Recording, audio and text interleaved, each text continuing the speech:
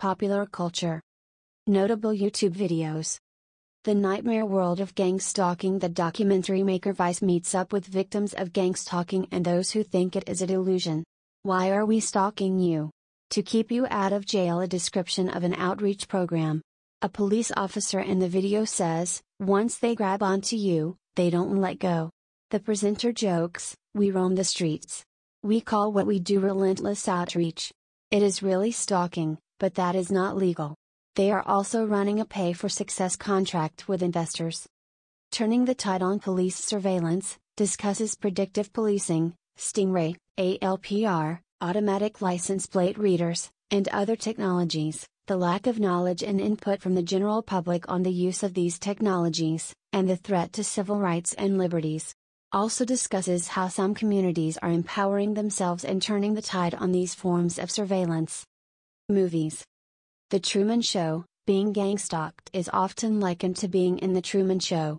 The difference being that a targeted individual will experience an interweaving of real and fake people, and the stalking and surveilling is ostensibly for the purpose of government surveillance rather than for entertainment.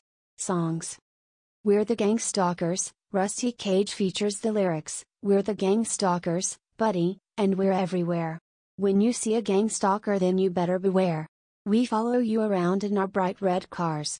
We're all gang stalkers and we know where you are. Somebody's Watching Me, Rockwell featuring a sample from Michael Jackson. It features the lyrics I always feel like somebody's watching me and I have no privacy, alluding to the possibility of having cameras in the house. This is followed by Are the neighbors watching me? Who's watching? Well, is the mailman watching me?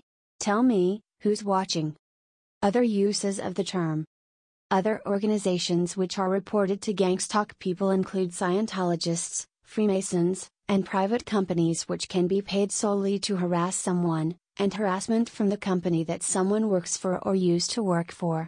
The term gangstalking is also increasingly being used on social media to refer to things such as workplace mobbing, family issues, or people just being nosy about other people's lives.